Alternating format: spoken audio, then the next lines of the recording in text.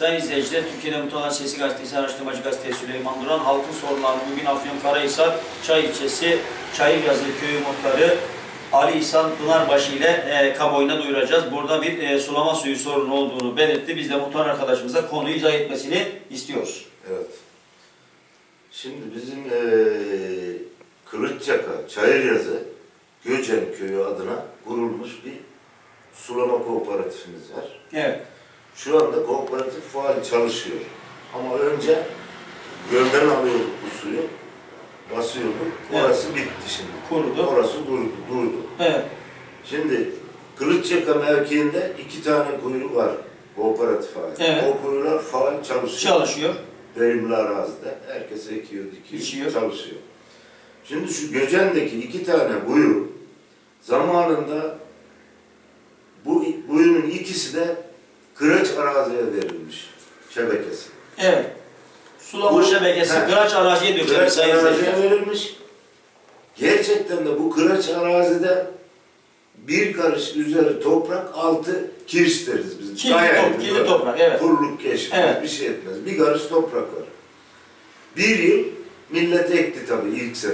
Evet, Pancar ekti, patates ekti, yonca ekti, fi ekti. Bir yıl ektikten sonra artık adam yaptığı masrafı alamadı yani. olmadı yani. Olmadı. Altı Evet, çünkü altı kiriş. taş, toprak, kil yani. 6-7 senedir bu kuyular, bu devletin açtığı bu kuyu, kooperatifin iki kuyusu yatıyor. Evet, Çalışmıyor. Çalıştırmıyor millet yani. Para kazanamıyor. anladım. Ya, ekmiyor arazisi. Ne ekmiyor. Biz diyoruz ki, bunun müracaatımız var. Sayın Bakanımızla da görüştük. Evet, Orman ve Veysel Su İşleri Eroğlu Bakanımız, evet. Görüştük. İki sefer görüştük. Yüz yüze mi görüştünüz? Yüz yüze iki Dilekçe sefer verdin mi efendim bu konuyla ilgili? Verdim. Devlet su işlerine. Ha, devlet su işleri müdürü de yanımızdaydı. Evet. Görüştüğümüzde. Bak muhtarın işini yapın dedi. Bakanımız. Bakanımız. Evet. Devlet su işlerine. Kaçıncı bölge bakıyor buraya devlet, devlet su işlerine? Isparta. Isparta Devlet Su İşleri Evet. bakıyor, evet. Benim kolumdan tuttu Eroğlu'nun yanında müdür beyimiz. Evet, Genel müdür su işleri. Tamam dedi. Şimdi ondan sonra biz Isparta'ya gidiyoruz. Ee, bu kooperatifin borcu var kime borcu var? devlete. Evet, Bu borç olduğu sürece biz bunu yapamayız. Ya neden ödemiyormuş Ya borcu, de- borcu? Kooperatif neden ödemiyor? kooperatif ödememiş işte. Ha, halktan alıyor. Çalışmıyor.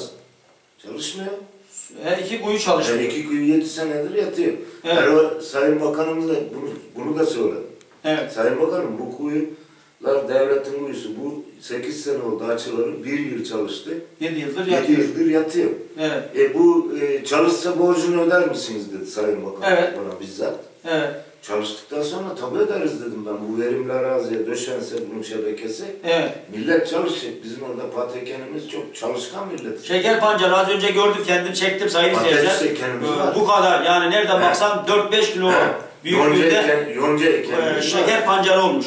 E, yolda gelirken yine patates hasadı yapıyorlardı. Artık bugün 1 Ekim 2016 sayın izleyiciler günlerden de e, cumartesi e, genelde ben e, röportaj yaptığım günleri söylemiyorum ama öyle marz ettiği için söylüyorum. Vatandaşlarımız burada bugün ekin ekiyordu. Gördüm. Evet. Hem bugün 1, 1 Ekim ekin ekiyordu burada. Arkadaşlar söyledi zaten. Ekim ayı başladığında biz ekmeye Evet, başlarız. başlarız. Erken olduğunu söyledim çünkü bizim oralarda biraz daha geç ekiliyor sayın izleyiciler. Ee, burada muhtar arkadaşımıza ben katılıyorum. Ee, biz her zaman söylüyoruz muhtarlarımıza. Dilekçeyle müracaat ettiniz mi diyoruz. Bizim için önemli. Çünkü yazılı kurallar geçerli. Bakana Evet. söyledin, gelen müdüre söyledin, unutur gider. Evet. Ama bunu mutlak resmiyete dökeceğiz. Ee, burada Sayın Bakanımız da Afyon Karahisarlı. Kendisini de ben çok seviyorum. Ee, çünkü Türkiye'de çok güzel işlere imza attı. Evet. Araştırmacı gazeteci olarak Türkiye'nin bütün ilini ilçesini geziyoruz, ziyaret ediyoruz. Tabi burada da bizim muhtarlarımız destekliyor sağ olsunlar. Ee, bin köye, bin gölet projesi kapsamında AK Parti hükümeti ne yaptı? Ülkemizi e, Suya boğuyor. suya boğdu, göletler, barajlar yaptı. Ama Vatandaşımız eken- ekonomik olarak kalkınmasına öncülük etti. Öncelikle Veysel Eroğlu'na ve e, başta Cumhurbaşkanımız Recep Tayyip Erdoğan'a çok teşekkür ediyoruz. Geçmiş e, baş, başbakanlarımıza da. E, burada e, iki kuyunun tekrar faaliyete geçirilmesini istiyoruz. 5-600 metre diyor verimli arazilere yeni kapalı sistem boru hattı Evet. döşenmeli 6500 hektar arazi var. 6500 hektar arazi sulu tarıma kazandırılırsa çünkü burada Karamuk Gölü ku- kurumuş. Evet, Doğru mu efendim? doğru. Derin kuyudan çekiyorlar. Derin kuyuda da suyun bol olduğunu söyledi. Çünkü Çok. bu buranın altı hep su sayın izleyiciler gördüğüm kadarıyla her yer yemyeşil. Güzel e, ağaçlar da var. Söğüt ağaçları, çınar ağaçları var. E, yani 20-30 metre indiğinden su çıkıyor. Suyu da bol. bahçeleri var. 6500 hektar arazinin sulu tarıma kazandırılmasını istiyoruz. Sayın Bakanımız Veselenoğlu e, Isparta e,